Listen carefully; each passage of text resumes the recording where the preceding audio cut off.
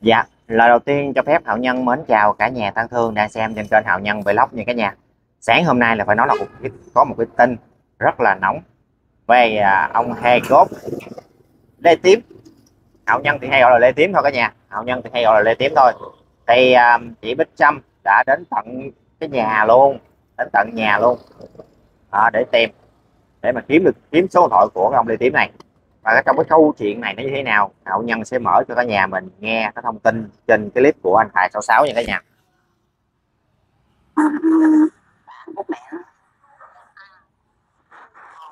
dạ, là chị Diệp là em của anh nghệ sĩ hài Lê Tính phải không cô? Dạ. Thì à, nói chung là tụi con tới đây á, phải biết là anh Tính đã về Việt Nam đó cô. Dạ tụi con cũng là anh Tính để mà à, có chút xíu chuyện đó để giải quyết. Dạ không biết là gia đình có liên lạc được với anh tính không cô? Ờ, ờ. nó đúng ra cả nhà lần này là phải gặp ông tím cho bằng được. Thử coi ông nói chuyện thế nào. Đúng cả nhà. Hồi nãy thì có một khán giả bình luận lên kênh hạo nhân á nói như thế này. Ông này là sinh năm 1972 cả nhà. Đó cũng có nói rồi. Đã lớn tuổi rồi. Thì mình mở miệng ra mình nói chuyện cho như thế nào để cho vừa lòng người khác. Có sao đâu mà chú lên chú nói chuyện ngáo quá ngáo ngôn quá và mời cả nhà mình nghe tiếp nha. Vậy chị Diệp đi làm thì nào về con ha? Không biết rồi đi làm dạ. Để chắc con có số con gọi chị nhưng mà lâu rồi gia đình mình có có có liên lạc với anh ờ, nghệ sĩ hài lê tính không? Con không. Dạ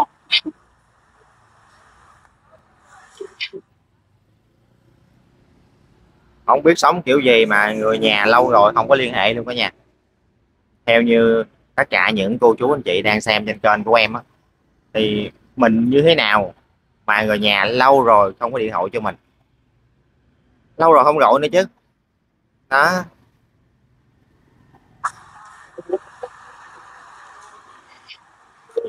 Gọi nha cả nhà chị Bích Trâm đang gọi. Bích Trâm đang gọi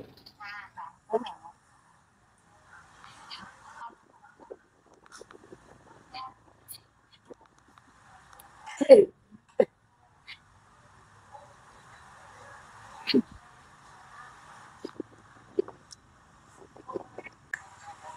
cho hỏi phải số điện thoại của chị Việt không ạ? Dạ.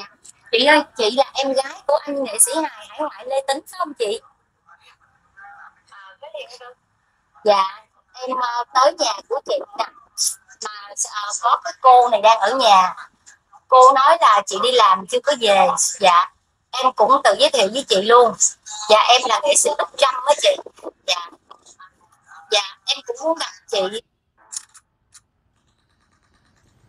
Cáo rồi. Để, để mà em uh, trao đổi chút xíu á. Em không biết là gia đình mình là lâu nay có liên lạc với anh Lê Tính không chị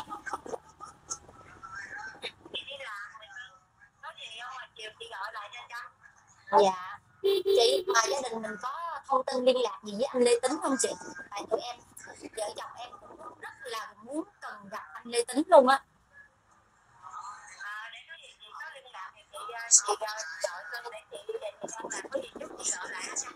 Dạ. Chị chị ơi khoảng bao lâu chị về nhà ha? Để để em biết em có thể quay lại em gặp chị em hỏi chuyện một xíu. Chiều đi về gọi dạ dạ dạ chị em cảm ơn chị. Dạ dạ vậy có gì là chiều chị dịch chỉ hẹn lại con?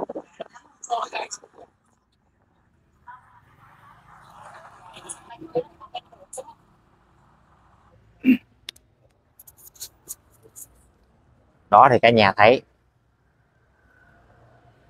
Mình làm việc gì đi nữa. Của ba của anh Linh Tý và mẹ của Linh Tý đâu có đụng chạm gì tới cái ông hề lên lết này đâu cả nhà thì hay đúng không?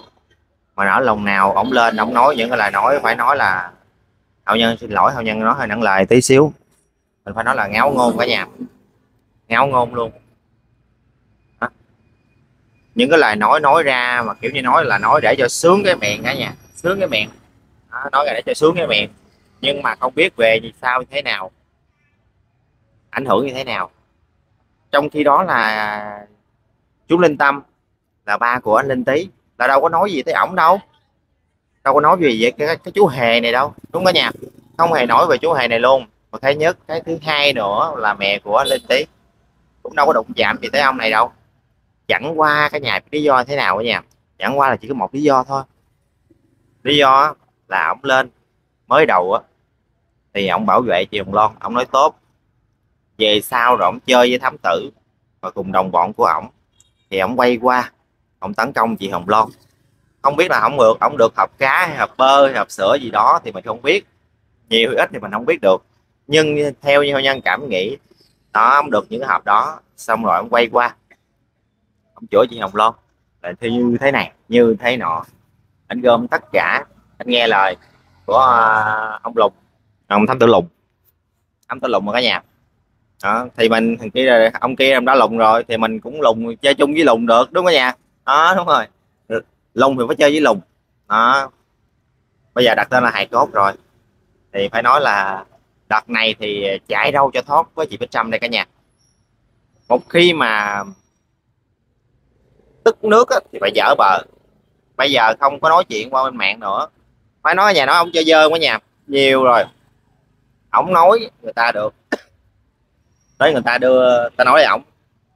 Ổng đăng hình người ta được. Ta đăng hình ổng thì ổng lại chơi cái trò là đánh sập kênh Facebook của anh Linh Tý và Chữa Trâm. Bây giờ anh Linh Tý và Chữa Trâm phải tạo một Facebook mới tên là Trâm Nguyễn cả nhà.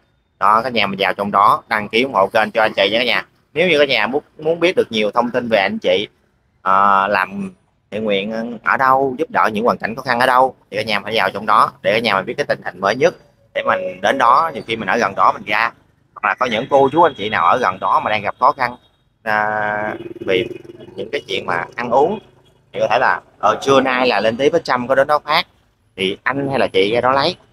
Cái này là anh lên tí và chữ trăm không phân biệt là giàu nghèo nha cả nhà. Anh chị không phân biệt giàu nghèo anh chị chỉ muốn làm về cái tâm thôi. Ai cần thì đến lấy. Ở sự hôn nhân đi với anh chị rất là nhiều nên hôn nhân biết. Anh chị không phải nó không phải là phát cho mỗi người một phần đâu cả nhà đó, ai muốn lấy hai phần cũng được ba phần cũng được bốn phần ờ, thậm chí lấy mười mấy hai chục hộp cũng được. Đó nhiều khi các nhà thấy không? Đi quay với anh chị á người ta phải nói như thế này người có tâm thì ác sẽ có tầm cả nhà.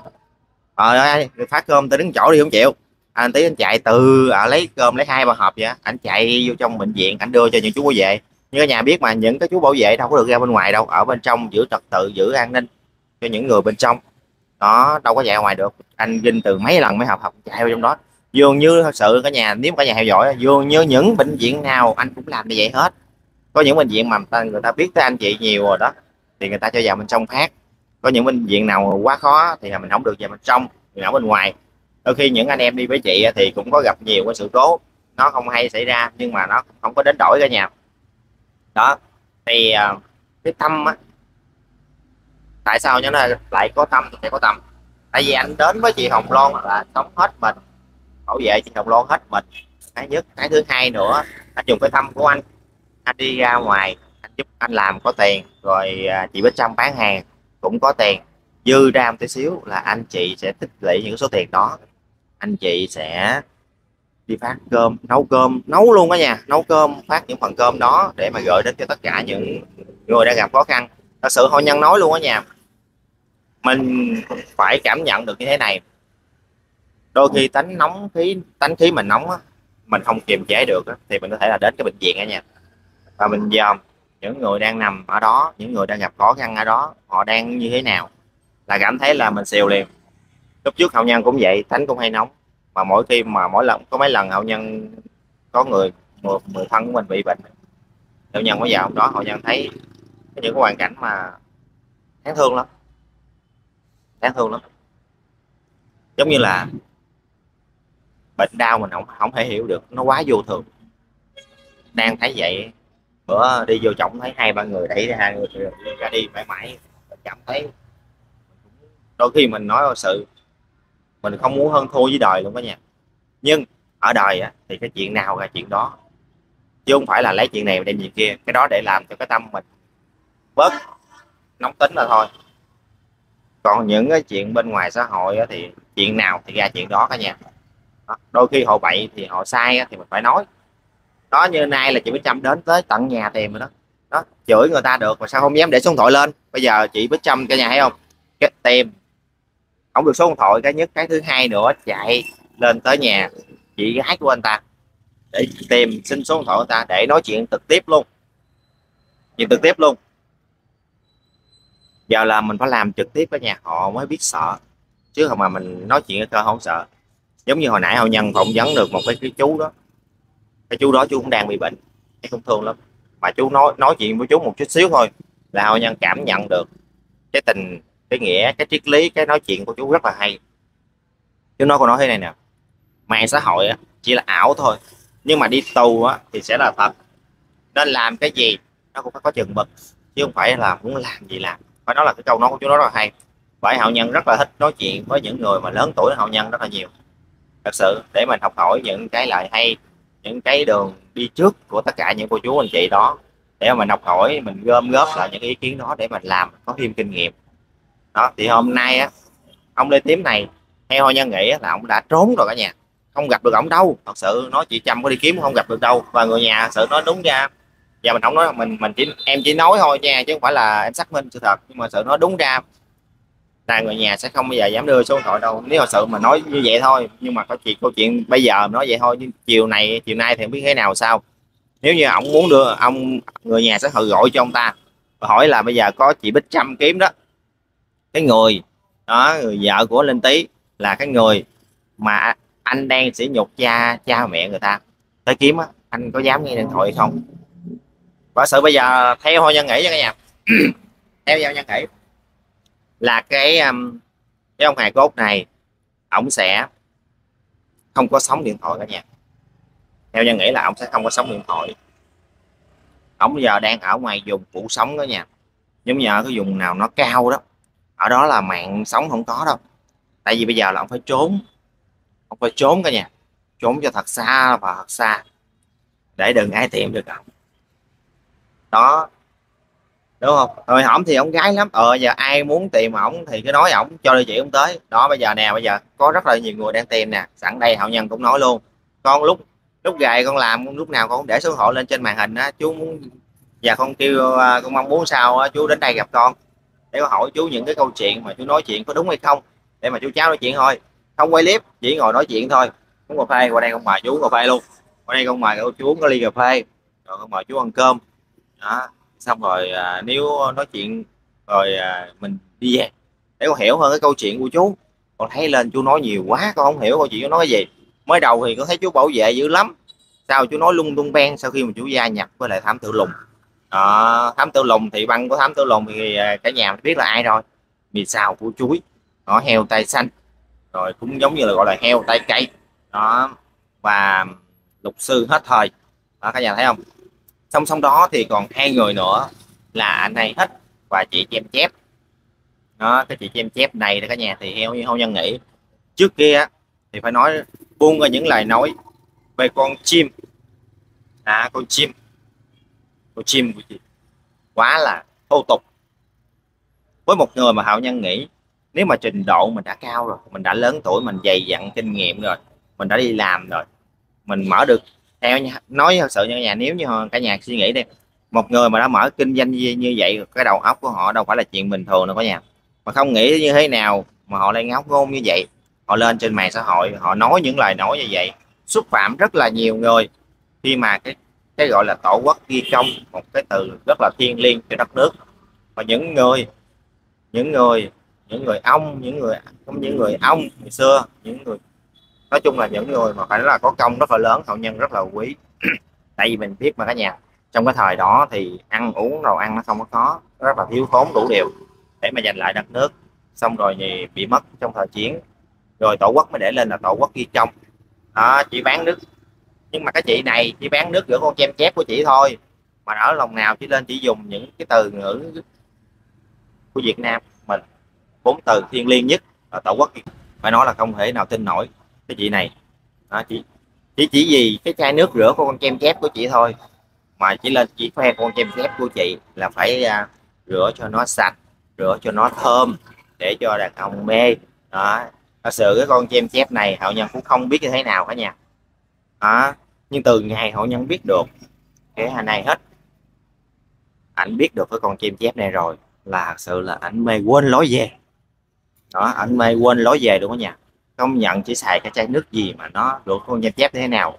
Mà cái này hết này anh quên lối về và anh binh bất chấp đó, từ một người từ giúp cho ảnh là một người vô danh tiểu tốt bây giờ mà trở thành một người hát rất là nhiều người yêu thương. Khi mà anh đến anh bảo vệ con gái của nghệ sĩ ưu tú Vũ Linh giống như là chị Hồng Loan. Tên hơi thân thương hay nhân hay gọi là người con gái bé nhỏ của nghệ sĩ. Và còn thêm một danh nữa họ nhân hay gọi thấy thấy cả nhà hay gọi là ái nữ của cô nghệ sĩ. Cái tên cái cái câu từ gọi rất là hay. Anh đến anh bảo vệ anh sẽ bảo vệ cho em. Đó, xong rồi xong rồi chỉ vì con chim chép. Quay lưng. Đó, quay lưng đi vì con chim chép. Để mà có mặt người em mình bơ dơ giữa dòng đời xô đẩy. Một khi mà em đã em mình đã tổn thương như vậy rồi mà trong đó là Bắc năm ngày xưa đã dìu dắt, đã dẫn dắt cho fan này. Để mà anh sao? Để mà anh nổi tiếng lên, anh hát lên. Nhiều lần ảnh xưng, ảnh nói anh là con nuôi. Đó. Có khán giả hỏi luôn mà ở nhà hỏi ờ canh canh hay hết này sao? Bác năm chỉ nói là chỉ là một đứa cháu trong nghề thôi. Đó, cái này hồi xưa cả nhà thấy, nếu mà mình biết được cái này phải gọi là tự nhận đó cả nhà, chứ không phải là bác năm nhận đâu. Theo dân nghĩ vậy tự nhận mình thôi để mình được nổi tiếng. Đó bây giờ cũng vậy tự nhận mình à, bảo vệ cho em mình để mình được nổi danh lên nữa và được nhiều show hơn nữa. Và bây giờ như thế nào cả nhà? Thế những nhà cảm nhận như thế nào? Và bây giờ sao? Nổi danh lên xong giờ mấy con chém chép quay qua đối mặt với em mình và thuê người để mà hại em mình. Đó thì con heo tay cây đó đó cả nhà thì cái này cái nhà đã xem nhiều nhà biết con heo cây là như thế nào rồi. Đó, chỉ nói vậy thôi. Ai nhọn gắn chịu. Nhưng mà sự hầu nhân cảm nhận như thế này thôi. Không nhân không biết thế nào nha. Nhà không biết cái nước rửa con chim chép nó ra sao. Mà để cho anh hết này anh mê đến như vậy. Không lẽ chiều nay đi mua thử con chai ta? Không lẽ chiều nay mình đi mua thử con chai mình xài thử ta?